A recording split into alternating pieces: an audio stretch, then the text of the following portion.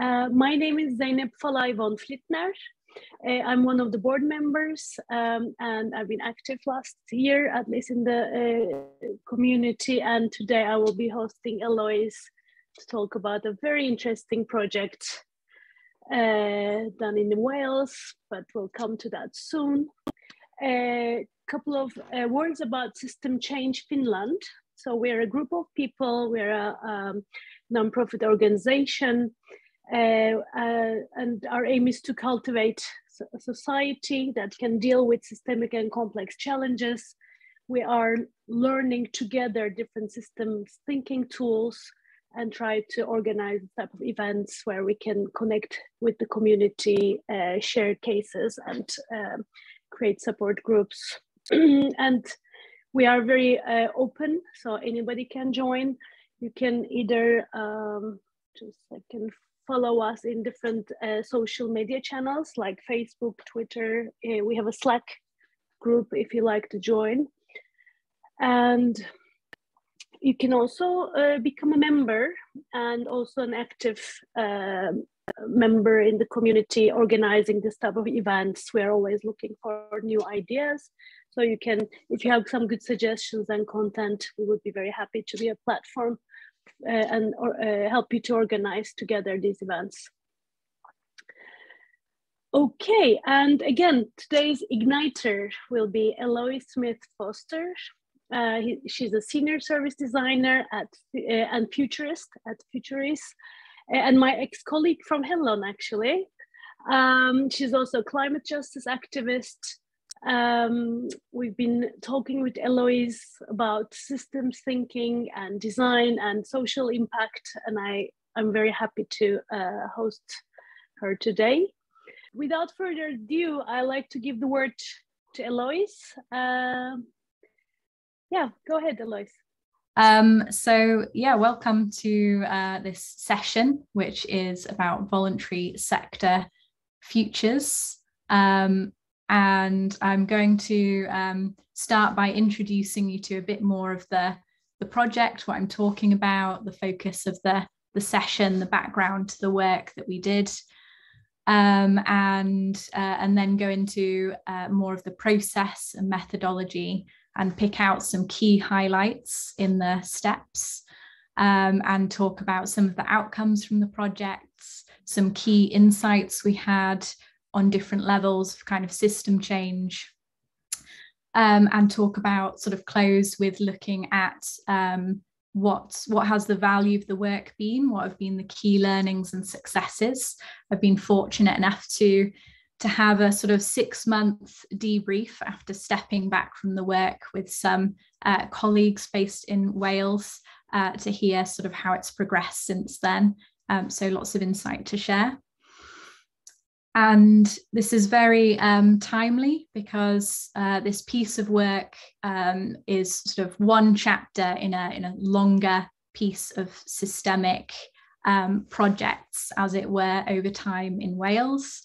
And I was involved in this project last year in 2021, um, doing uh, co design, uh, designing and developing a future vision and kind of seeds of change for the voluntary sector and society in Wales, um, very closely with a number of partners, um, with uh, many members of the, the public, of the voluntary sector, beyond the sector.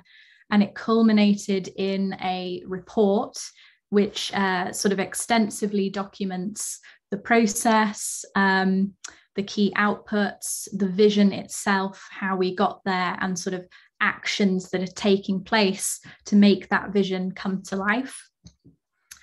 Um, and so some of the key partners you can see lined up along the bottom, we were sort of commissioned and our core partner was WCVA, the Wales Council for Voluntary Action, uh, Third Sector Support Wales. Uh, we were supported by Future Generations Commissioner for Wales and the Welsh um, government.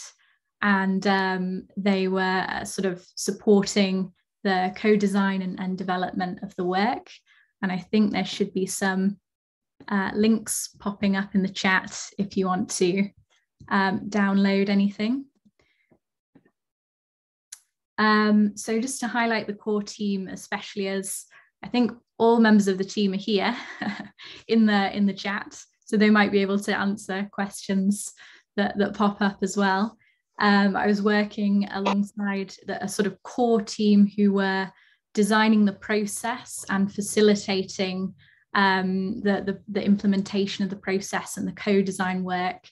Futurice kind of coming in as a, a sort of neutral external um, partner. Suzanne and Anna from the Wales Council for Voluntary Action, bringing in that local knowledge, that place-based knowledge, um, the, the direction and the agenda.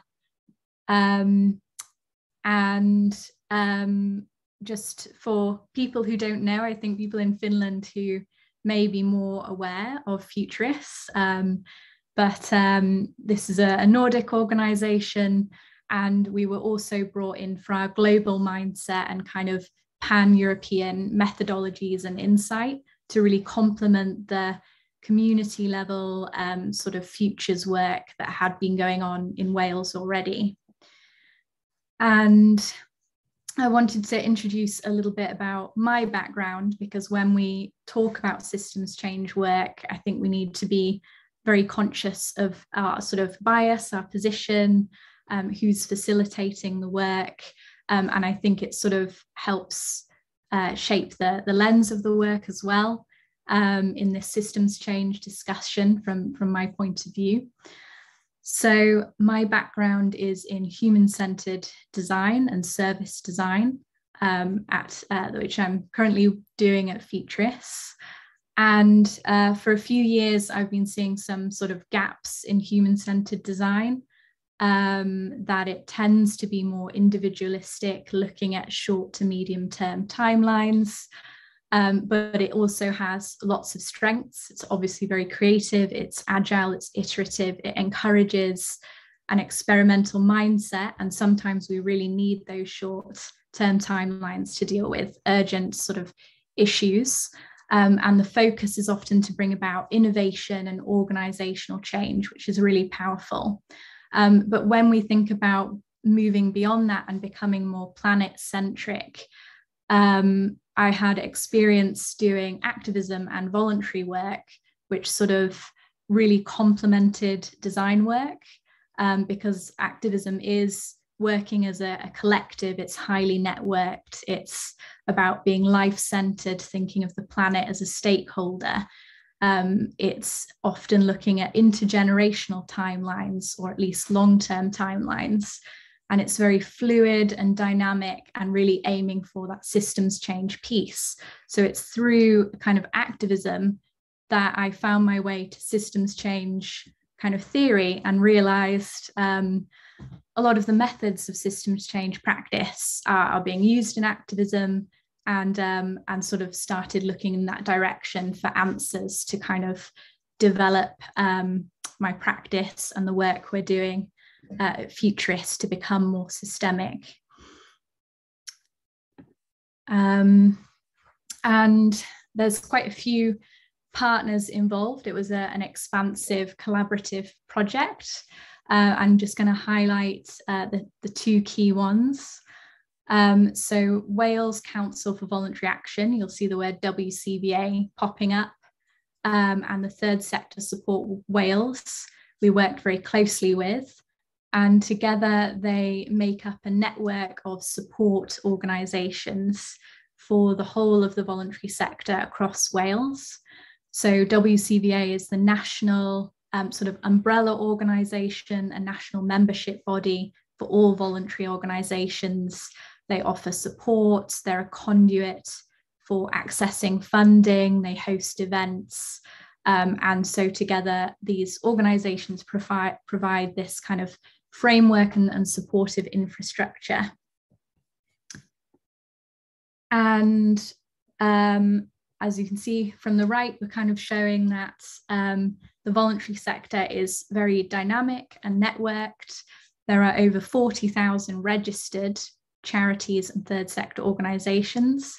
And that's what I'm referring to when I say voluntary sector. It's not just volunteers, it includes sort of charities, um, and, and different types of organizations. And a big proportion of those are micro charities. Um, so, sort of local lunch clubs or very small street based volunteering or um, uh, organizations with a turnover of less than 10,000 a year. So there's lots of sort of micro grassroots charity work going on, um, just to kind of set the scene. And so that is the range of perspectives that we needed to consider when we uh, sort of entered this work. We were really thinking about um, how do we get that depth of engagement and uh, sort of bring in that diversity of voice and aim to be as inclusive as possible for all the different types of organizations that WCVA needs to serve. Uh, the vision needs to integrate their voice and, um, and therefore have um, support the strategic development that will, will enable better service provision. Um, so just a, an example, we have, for example, uh, for instance, Friends of uh, Cymru, sickle cell and thalassemia. Uh, we've got health, we've got creativity, we've got Scouts Cymru. Um, we've got, we also had organisations outside of Wales involved, like SCVO. VO is the Scottish uh, sister organisation to WCVA. Uh, we had sort of faith groups involved, youth groups involved. Um, so this gives a, a, small snapshot of the, the different points of view uh, we were working with. Um, and hopefully I'm pronouncing Cymru right. That's Wales in Welsh, because you'll see that popping up. Um, so WCVA came to us with this kind of uh, very uh, um, ambitious brief and question of you know considering that that scene that i've set how can the voluntary sector in wales how can we as this national organization and sort of partnership uh, build our resilience and sort of recover from the pandemic but not only recover and survive really look towards a better future one where we can we can thrive. Um, and uh, Anna, who's who's present today, one of the the core team, uh, there's this beautiful quote that kind of sums up that ambition that it's vital, despite of course the challenges that many of these organisations have been facing, and the voluntary sector has has been um, incredibly powerful, offering support in the pandemic. Um, we need to also take time to imagine futures we want to see um, and create pos- positive visions for our future and plan how we can get there together. So I think that sums up the, the direction of the work really well.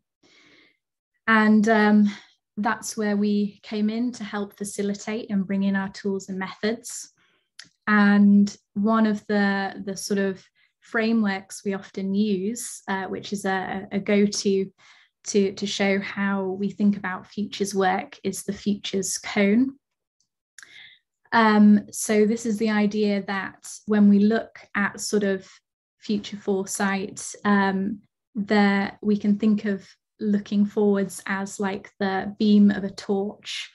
Where we are today or in the near future, what's going to happen is probably more predictable, it's more clear, and the range of possibilities is more limited. But as you go further out in, in time, further away, five years, 10 years, 100 years, that spectrum of possible futures broadens and diversifies, and it's less and less clear what's going to happen. Um, so I think this, this graphic shows that really well. You can see the sort of maybe most utopian and dystopian sitting at the edge, possible, but more unlikely. As we get nearer the centre, it's more plausible. And in the very centre, the most probable future are what you might predict based on the biggest trends happening today. They seem most likely. Um, but future foresight is all about saying we're not just going to wait and react to the most likely future. We're going to identify what's possible and pinpoint our most preferred future. So we have the, the highlighted sort of yellow cone of looking at what's plausible that we want to happen and so then we can figure out how can we make that happen how can we make that future more likely by what we do today Um, and that's what I love about Futures work. I think it's really powerful, this kind of proactive mindset.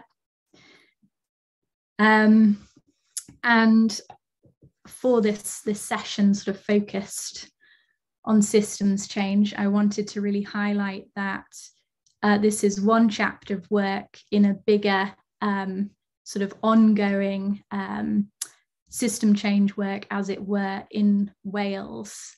And I think it's important to recognize what we do doesn't happen in a silo, it's always building on things that come before. And we need to think long term and think about how we support the work that comes after. So um, there's sort of uh, a fund created in the UK called the Emerging Futures Fund. And if anyone's interested in commissioning, I recommend looking them up, really fascinating. But they created funds specifically to support what they term imagination infrastructuring.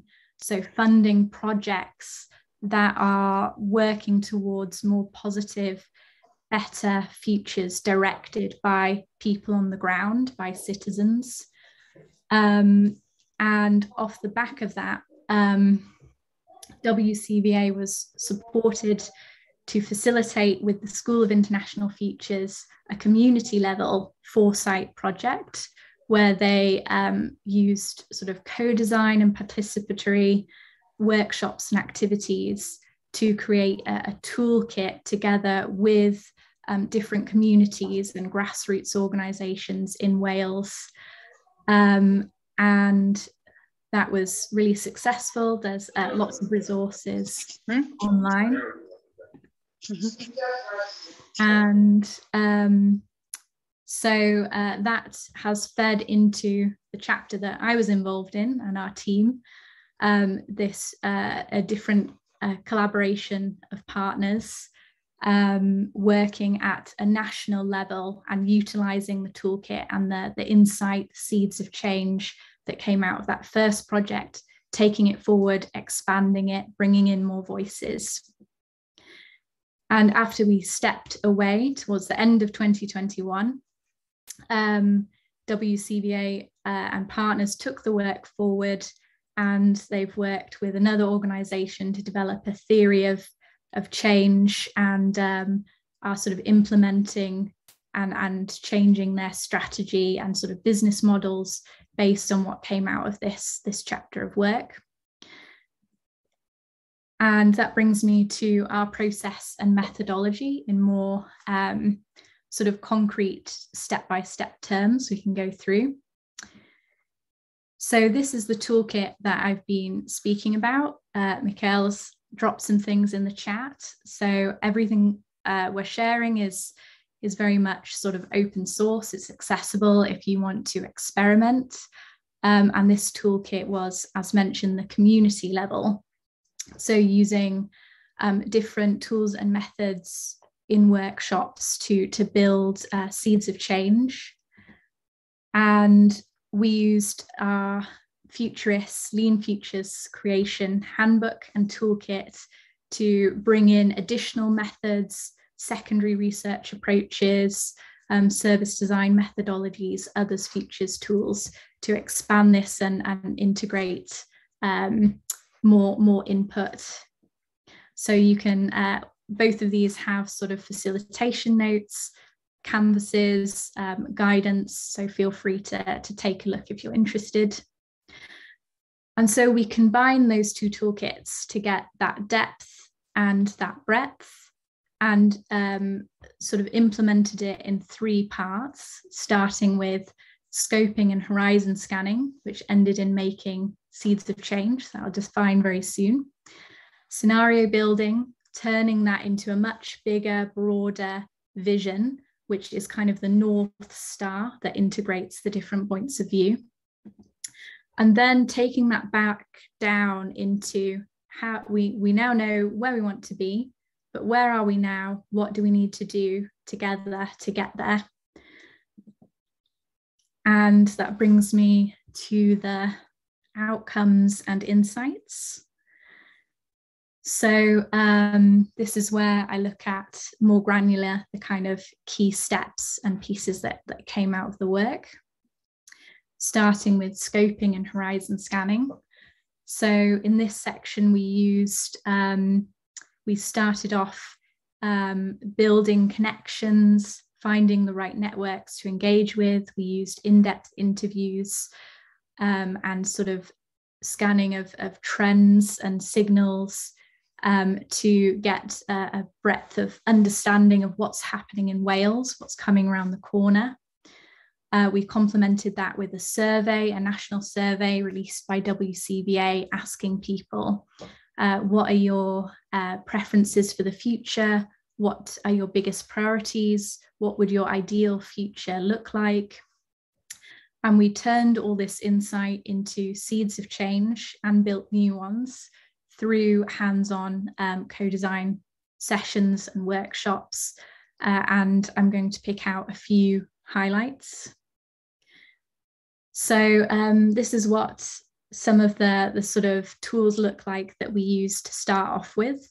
Um, so, these canvases we used in Miro to engage lots of collaborators and really get everyone involved in, in from the sort of different uh, perspectives in the, the main organizations to frame their priorities, the scope of the work, clarify what was being aimed for, who do we need to include, get an overview of key sources for trends and kind of mega trends. So this was a way to, to kick ourselves off. And we used the PESTLE model um, to do that horizon scanning. So this is um, making sure that you, when you do research, you're looking at all the different angles of um, society and you're covering sort of politics, what's happening there, what's coming up, what's economical shifts are taking place, what's happening with society and individuals, technology and innovation, legislation, and the environment. So it's a helpful way to start thinking about uh, nature as a stakeholder and looking at different things happening there. For example, Wales is quite low lying in many areas. So there's lots of signals about increased risk of flooding in the future, especially around the coast. Um, and another example of sort of weak signal that's turning into a trend is um, there's lots of articles on the well-being economy and doughnut economics, and that's something that people in Wales uh, are really interested in, and groups are forming around. So we were we were really looking at local organisations and initiatives, uh, think tanks, reports, um, local newspapers to to really get that that broad sweep of um, of different different sort of potential seeds to be aware of. And I'm aware I've been saying the word seeds of change quite a few times, so I just want to define um, what that means. Seeds are um, sort of initiatives or innovations which are already happening, but they're not widespread. They're, they're usually new and small, they're not yet widespread. So I think a really good example is when electric bikes sort of and bike sharing schemes first appeared. Um, that would have been a seed of change. Now they've become quite a big trend. Um, but they point towards there's a lot going on around urban mobility and cycling that points towards a sort of the, a changes in the way we use the city. Um, and you could create seeds of change around that. And so that's exactly what we did. We had workshops uh, on Miro where we uh, shared seeds of change. We had a lot of discussion. It was really energizing to um, sort of share this with people, hear their reactions, people being very honest about the type of future that they wanted, creating new seeds. And this is just one example of how you get from sort of uh, different sources and input to a, a seed.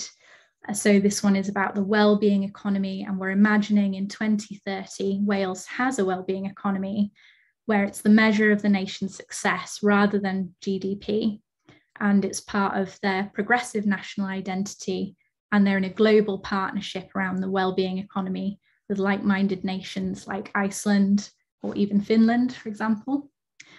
Um, so this was a, a very popular seed. So I wanted to share some key insights that came out of the um, the uh, participatory sessions we had, as we had quite a number um, with lots of different uh, voices coming through and kind of exchanging thoughts, learning from each other, sharing stories. It was a, a really valuable experience.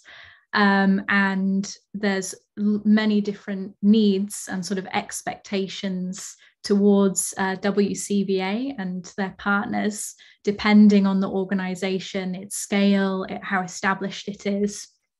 And we started to build this, this picture um, from a high level that we have the majority of sort of micro, small, medium voluntary organizations who are supported by all these different bodies through their sort of networks, funding, support mechanisms.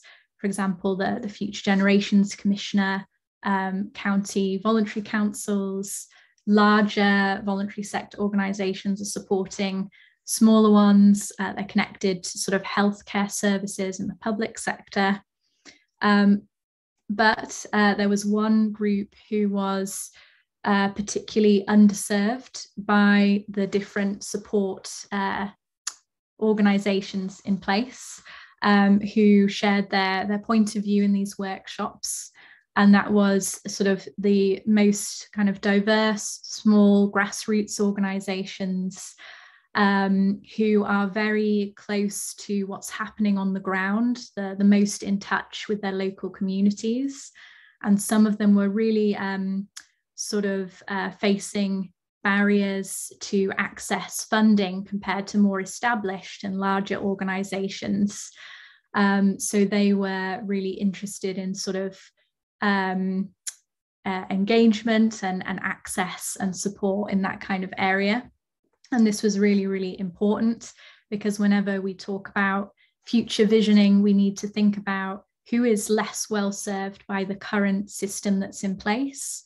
Uh, then we need to um, bring those voices and needs to the center and make sure if we are creating a, a future vision, we're not uh, repeating current paradigms that don't work for everyone. We're, we're creating, supporting a sort of paradigm shift, redistribution in power, we're really thinking about social justice, something which the voluntary sector is, is very much aware of, especially compared to other sectors. And um, so this is a, a, quote from, from one of the people who uh, was happy to, to share their, their voice with us for this work and uh, who was from one of these grassroots organisation saying how um, when we look at this kind of vision setting, we all need to be at that table um, to, to represent the whole community of Wales and in all its diversity. Um, so there were some, uh, a lot of very authentic, honest uh, conversations coming up. And um, I think the team and what's important when doing this work is to have a lot of humility and be really ready for that mutual learning and to welcome um, different lived experiences. And so, how did that translate into a seed of change? This is one of the, the final ones. Um, the first showed was kind of a draft. So we we wanted to, to frame these seeds as close to what people were saying in, in their own language, human language, as they had shared. Um, so this is an example of, you know, how did we turn this kind of input? How did it direct and shape the, the seeds? Um, so here we have uh, one that is grassroots organizations are highly valued in by 2030 when this seed is has come to life um, for their close connection with different community needs. They form a bridge connecting larger institutions or voluntary organizations with people on the ground. There is high mutual trust and key decisions are made in partnership. This ensures diverse points of view are involved right from the start of discussion or strategic planning. Um, so you can see these seeds, uh, they sort of represent, you know, we, we write them as if it's happening now, as if we're in that future. And it kind of shows uh, what people's concerns are now, how they want to flip that around and, and change the future. And the seeds are, are all kind of formatted like this in the report.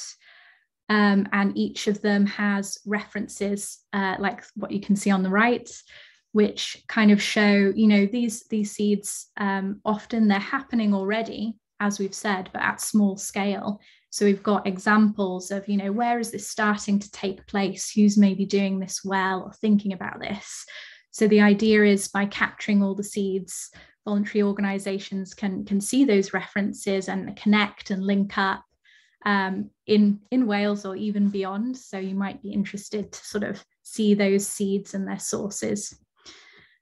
Um, and we went from uh, sort of initial 20 seeds to after all these workshops 55 um, trying to capture all the different perspectives that come out in the workshops, all the different possibilities people had shared.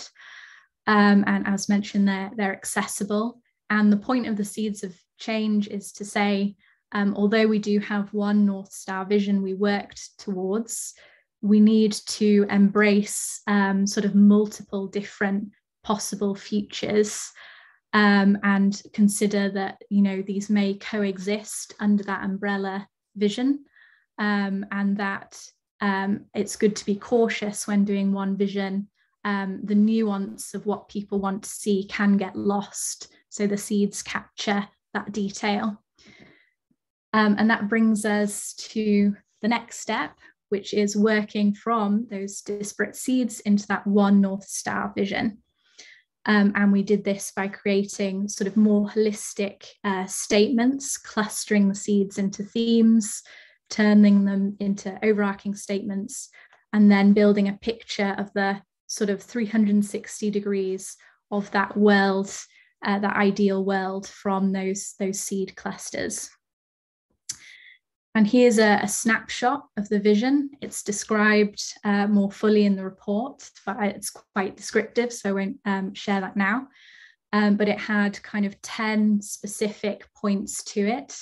And it's the, the voluntary sector vision overlaid on top of um, this image of the future of Wales by the Future Generations Commissioner, who's also done a lot of research into um, sort of what the future could look like for, for Wales as a whole beyond the voluntary sector. So we were kind of combining these things together.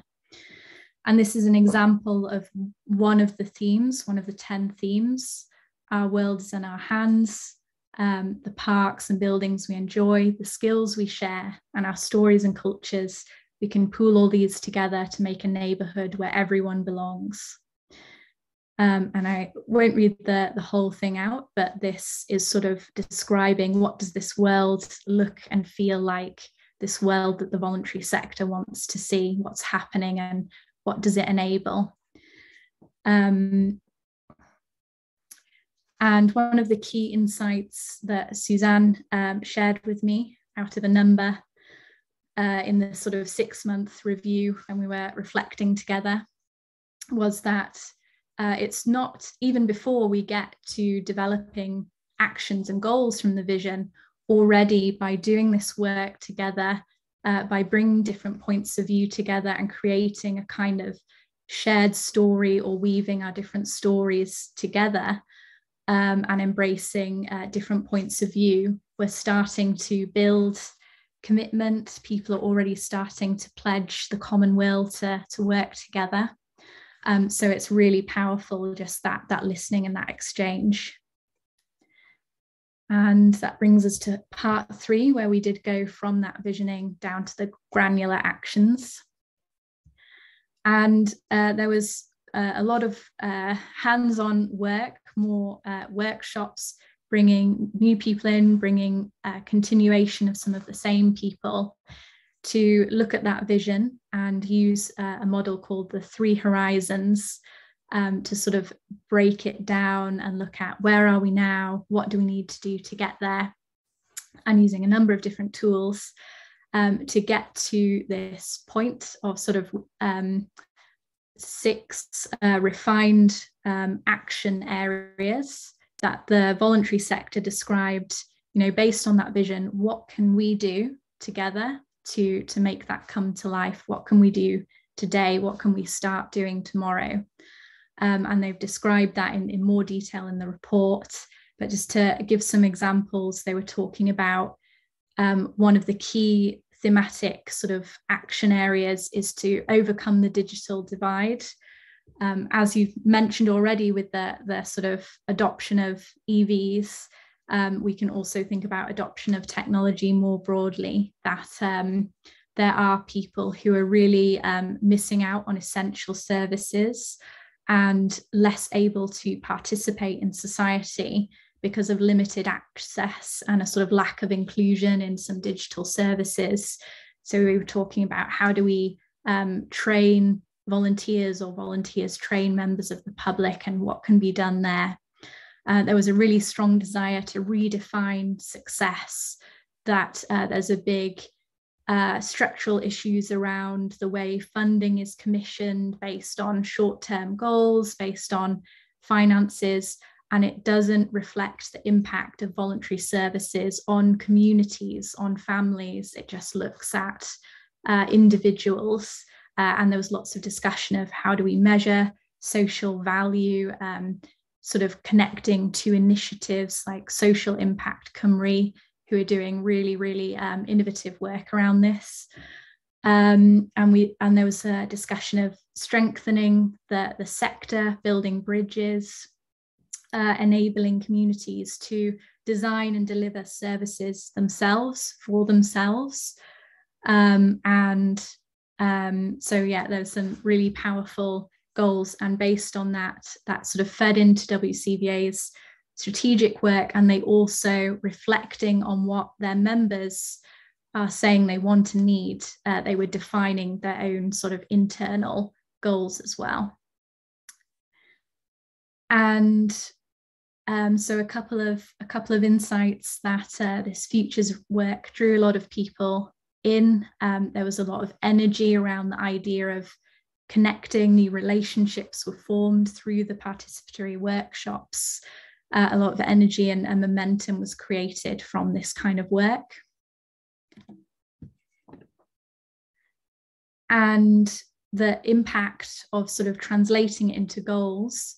And we also worked with WCVA to turn it into sort of actions and first goals for them, based very much on what the members and uh, participants had defined we saw that re- resilience and diversity um, and uh, sort of come to the forefront of the strategy and workforce development, um, thanks to what came out of the vision and what the members were, were saying they want. Uh, and there were many other impacts on the, the strategy of um, TSSW as well, third sector support Wales. Uh, which brings me to the, the conclusion. Um, when we sort of think about shifting systems, um, it's important to consider this on different levels. And I had discussions after the project, looking back and pulling out some key key insights um, to help us understand, you know, what value has been generated compared to our original objectives um, it's often discussed that futures work is quite difficult to to measure um, and to evaluate, and, and, measurements can be quite qualitative. Um, but it's it's important to to um, to consider how you're how you're measuring the success of the work. Um, so a nice framework that I uh, went through with with Suzanne in particular, and sort of reflecting on the project, were these different um, levels of system change. You can consider it on an individual level, looking at mindsets. You can look at interpersonal level, how have relationships shifted, um, organizational, is it um, centered, is it more distributed, what's shifted in the organization, and systemic in terms of how has the work impacted wider society. And so some of those impacts where there was a sort of shift in mental models and I heard how um, members were being considered less as external and becoming considered kind of more um, like internal members of WCVA and the, the organization. um, and that there's kind of an understanding that uh, dynamics and the way funding is is distributed and sort of relationships needs to to shift. And there was a lot of discussion of engaging with the grassroots and what that meant. Um, and people really felt heard and just being present really listening having a very genuine mutual exchange can already start to create shifts. Um, so the quality of listening had a really big impact. Um, and there was a, a strong um, sort of feedback that WCVA is very well placed between um, the sort of uh, autonomous uh, voluntary organizations, public sector, government to hold that space for listening, to be a leader, to um, show what, what um, the voluntary sector can do um, to, to sort of showcase and amplify that we have experts, people who are really in touch with communities and what citizens need and want through the voluntary sector. Um, and we need to move away from this idea that the voluntary sector is the third sector, which is a sign in the UK at least that it's kind of third compared to the other sectors. So that was also strong in the vision to, to shift the voluntary sector and become more a sort of respected partner and expert to, to government. Uh, which is also linked to the systemic impact. Uh, the work did really support this strategic five-year review um, of, of WCVA and TSSW strategy of their business model. Um, and the, the strategy was very positively received because people were seeing uh, what they what they wanted to see, what they had asked for was present. Um, and I think this is a really good example of how um, going slow and doing this this kind of sl- work more slowly than it's normally done can uh, enable speedier progress later on because people feel heard and see their their wishes integrated whereas if you kind of speed up in the beginning and don't involve people, there can be more friction when you try to take the strategy forward. Um, and so just expanding on that a little bit, um, we, we really saw how this work, it's happening over months. In 2021, the pandemic is still going on. And there was a recognition that, you know, the voluntary sector has been really strained in the pandemic. It's also really showed up and helped people. Um, but there's already been a huge amount of change and the ground kind of moving under people's feet, a lot of challenge, a lot of urgency.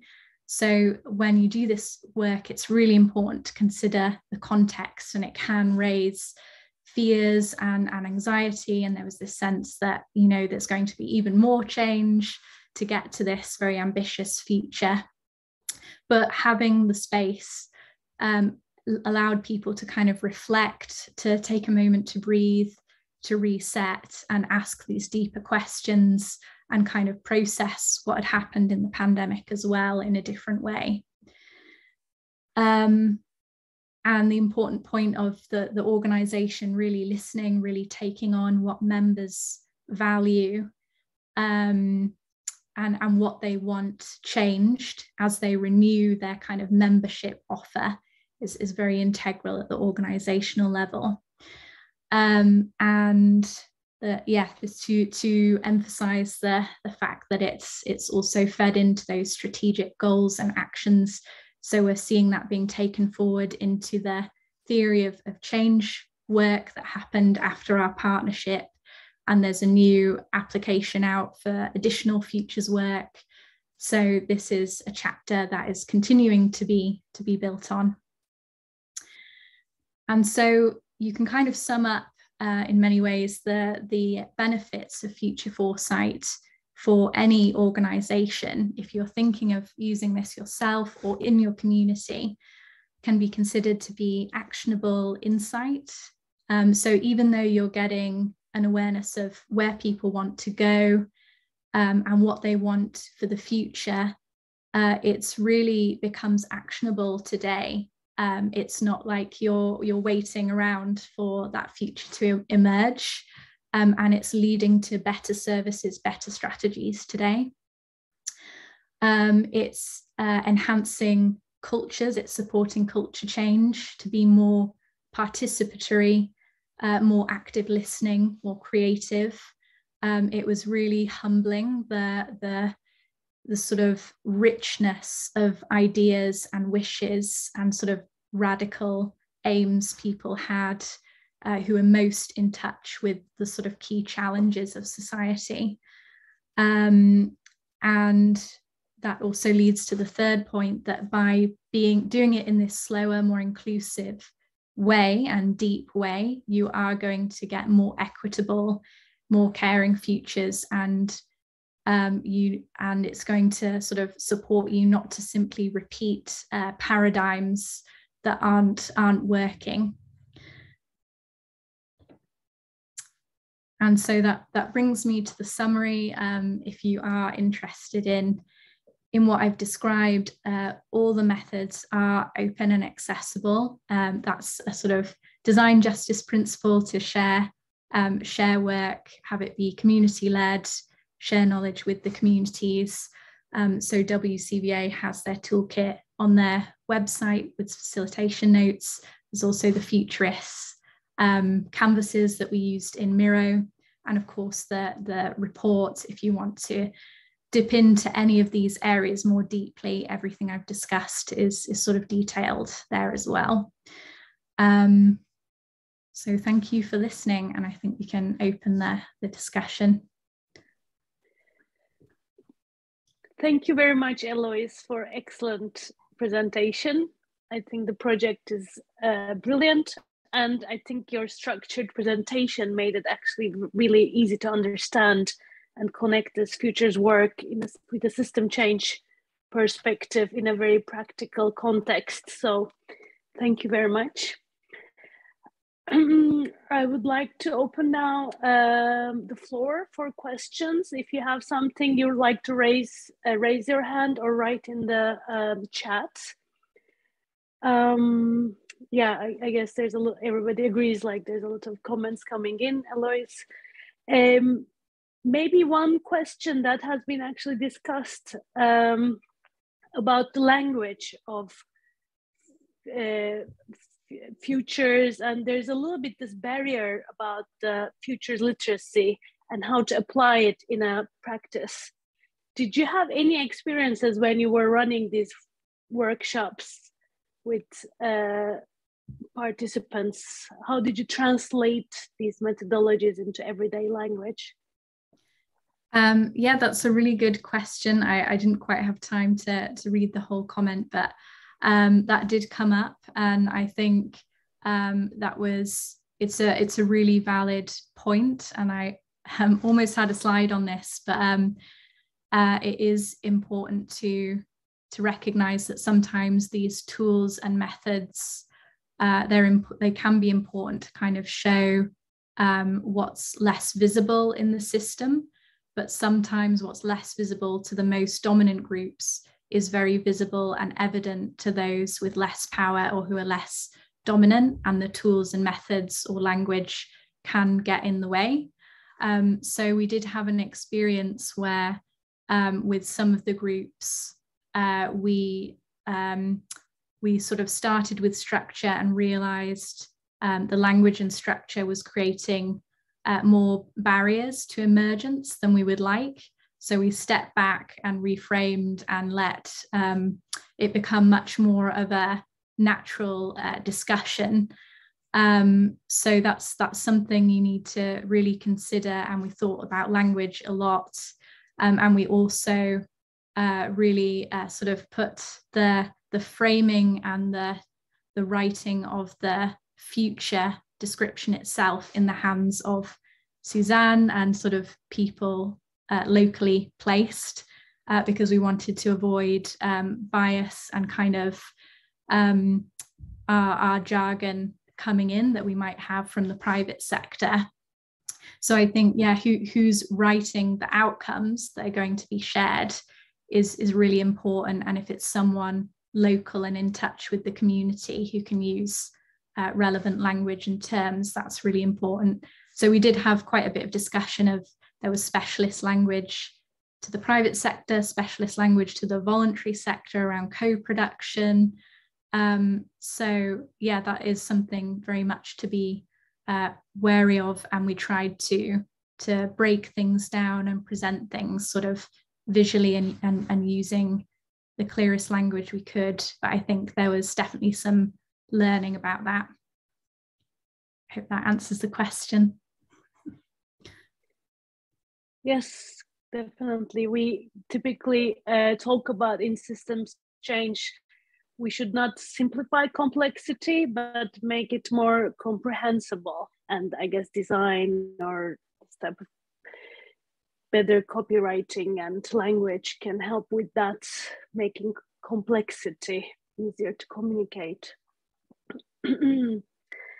so um, again, I'd like to remind you, you can take the stage and ask your questions to Eloise or also other members of the uh, project are here. So that's also interesting if anybody wants to ask questions. Mm, maybe I can continue to ask um, a couple of more while I'm waiting. Um, so from the methods side, do you have any um, recommendations? Which ones were most effective uh, for you to implement? Where did you have more maybe challenges? Mm. Um, so I think um, the seeds of change were one of the most powerful methods. And I think that can be done in quite a structured way, or you can kind of go to communities and they were also inviting us to, to listen and hear, uh, you know, their seeds and, and this concept uh, was quite clear. Uh, and the other piece is the, the three horizons was uh, really helpful to, to sort of take that vision down to more specific actions.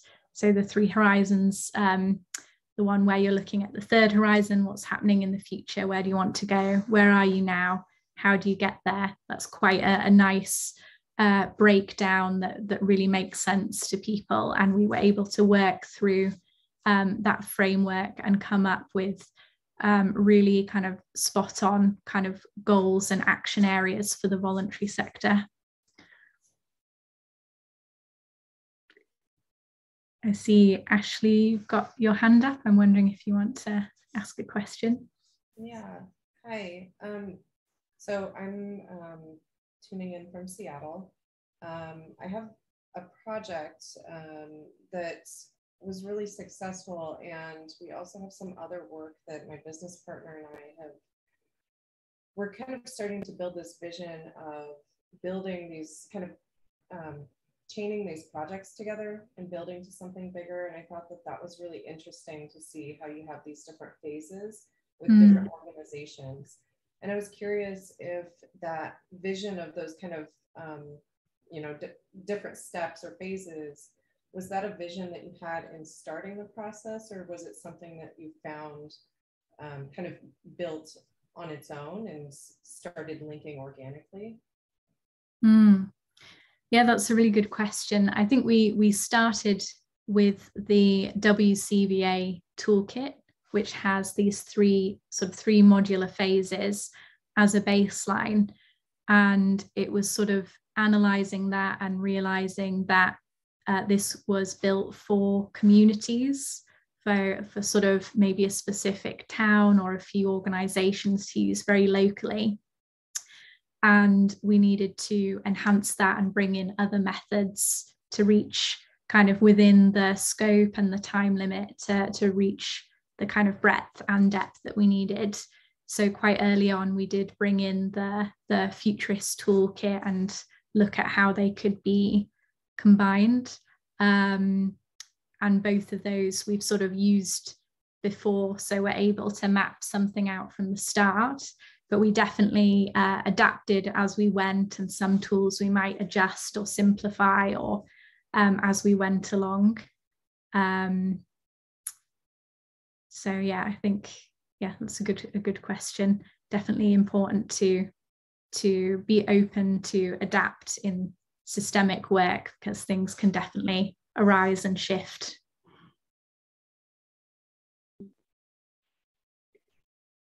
Thank you, Ashley, for the question. Thank you. Um, how about if you would do it now from the beginning, what would you do differently? It's, you had a lot of reflections. Do you have any thoughts? Mm. So um, uh, this is this is a, a question I discussed in the, the six month reflection as well of um, what we learned and what we might do differently, and we discussed um, sort of broadening the um, uh, sort of voluntary sector and citizen uh, participation to create um, thematic groups. Uh, Suzanne had a really nice framing of um, something akin to almost sort of citizen assemblies, taking the themes from the research, creating these thematic uh, sort of community-led groups to further develop and and analyze the research um, and so kind of do some more legwork before getting to the the overarching vision um, and i think another piece uh, i would work on is uh, it took quite a bit of time at the start of the project to build the right networks and the right level of diversity. And I would um, be interested to see how uh, how this would work, sort of expanding the timeline further to to take more time to sort of build trust and build the the diverse networks and kind of um, work from the grassroots upwards, especially now we have the, the insight that we didn't have at the beginning about the, the grassroots. Yeah, I really liked what you said about slowing down, helping to speed up the adaptation process. And it's quite counterintuitive to our consultancy work, I guess. We are trying to be as effective as possible, usually and there's a cost to it so how to finding this slowing down or getting the permission giving the permission to sl slow mm. down for the long-term uh, positive change is maybe important topic to discuss definitely yeah i think taking care in this work um, because especially with with this context that um, there has been a lot of um, challenge and uh, and sort of pain over the course of the pandemic. So it's about being human and sort of taking care of the people who are participating. I think is really important.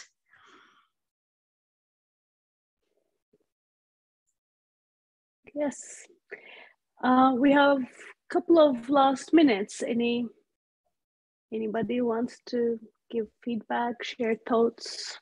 Final question.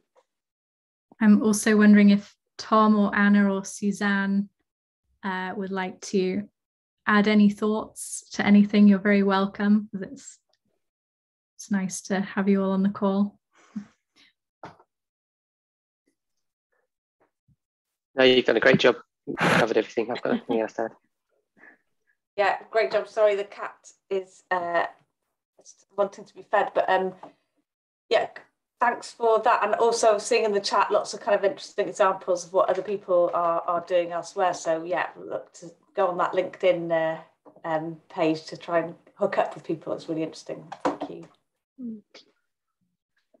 And just from me to say what a pleasure it's been to work with Futurice and how enlightened we were by um, the piloting by Futurice, especially Eloise and Tom of this work, and that it's really given us um, a very strong and positive steer for our next five years strategy.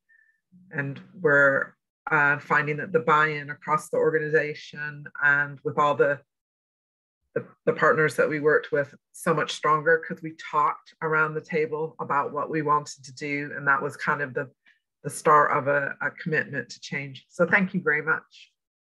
Thank you.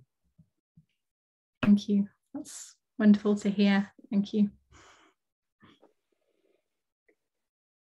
Yeah, I, I think we need to acknowledge the role of the clients who believe in these new methodologies and commission this type of work and you know trust this uncertainty of the process so i think that's yeah. one of the key success factors for for this type of field definitely and and maybe just to build on that sort of the the often unacknowledged or unscoped work of building those networks or relationships and building on there the discussions that happen in these workshops that's very much needs to be done in partnership and Anna and Suzanne were doing a lot behind the scene to um, sort of connect people to the work and and sort of um, weave uh, different ideas and pieces and projects together beyond just this piece of work. Um, so that's something to to consider if you're thinking about doing these projects, the time needed for that as well. Very good point. Okay, so now we are at the end of our time. Thank you so much, Eloise, and everybody who joined this event. And um, yeah, we would love to hear more uh, suggestions of uh, event ideas, and uh, we're happy to host more similar good talks. If you know anybody in your networks who would love to speak, we would be um, happy to host a System Change Finland. So have a good rest of the evening and for better futures.